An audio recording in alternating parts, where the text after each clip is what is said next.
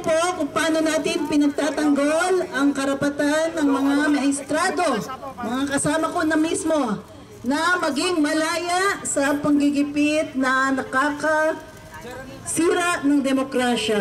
Marami pong salamat sa inyo, mga nasa taas ng! I love you too! Thank you! Thank you so much!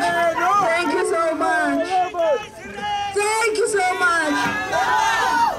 Napaka nakakabusog ng puso na maraming naniniwala sa demokrasya.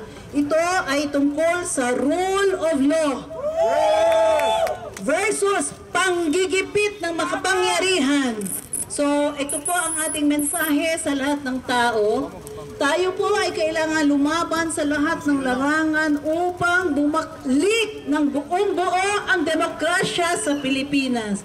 Upang mag Huwag manghina yung mga nagigipit upang malaman nila na may remedyo pa ang kailangang paglaban at makakamtan natin kung tayo po ay sama-sama. Kaya tayo po ay sama-sama, hindi po tayo magkakahiwalay kahit kailan. Salamat po! Tuloy-tuloy pa tayo! Salamat po! We love you, CJ! Thank you very much! I love you too! I love all democracy fighters! Laban na! Laban! CJ Sereno! Lumalaban! CJ Sereno! Lumalaban! CJ Sereno! Lumalaban! Salamat po!